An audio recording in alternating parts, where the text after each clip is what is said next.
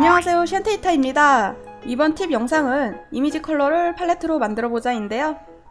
포토샵에서 쉽게 색상을 추출해서 표본을 만들 수 있어요. 자 먼저 색상을 뽑아올 그림이나 사진을 열어주세요. 그 다음 상단 메뉴에서 이미지, 모드, 인덱스 색상을 눌러줍니다. 설정창이 뜨면 보이는 설정에 맞춰준 다음에 확인을 눌러주세요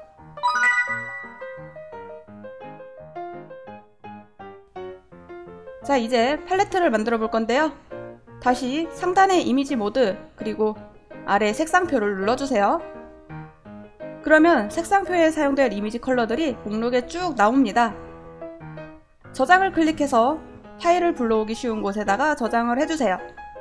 파일 형식은 자동으로 색상표로 설정이 됩니다.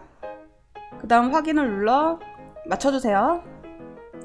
방금 저장한 컬러들을 색상 견본창으로 불러올 건데요 색상 변본창이 작업 화면에 보이지 않을 때 포토샵 상단 메뉴에서 창, 부는, 창 부분을 눌러 아래쪽에 보이는 메뉴를 눌러줍니다.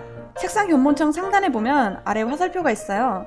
그걸 누른 다음 견본 불러오기를 클릭해주세요.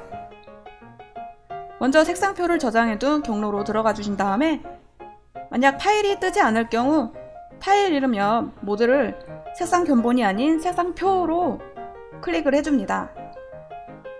저장해둔 파일을 불러오게 하면 색상 변본 창에 저장을 할 수가 있습니다.